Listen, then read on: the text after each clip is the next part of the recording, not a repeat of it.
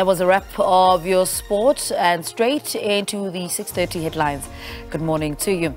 The funeral of Free State Education MEC Tate Makgoe is being held in Bloemfontein today. Makgoe and his protector warrant officer Vuyo Mdi died in the early hours of last Sunday morning after their car hit a cow on the N1 near Winburg. Makgoe has been granted an official provincial funeral category 1 which means that it will be uh, will have prescribed police ceremonial honors. He was a member of the Free State Legislature since 1994 and was the province's longest serving education MEC, having been appointed in 2009.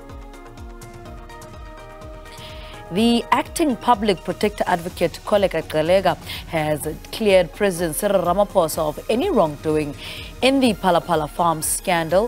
Her preliminary report found that the allegations that the president violated the executive ethics code in exposing himself to any risk of conflict of interest are unsubstantiated.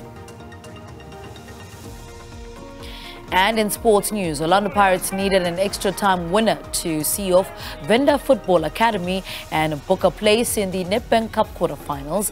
Full time ended with the two sides level at 1 0, and Thembinkosi Lorch scored in the 113th minute to give Pirates a 2 1 victory over the National First Division side. That's a wrap of your news headlines. Full bulletin coming your way at 7 o'clock.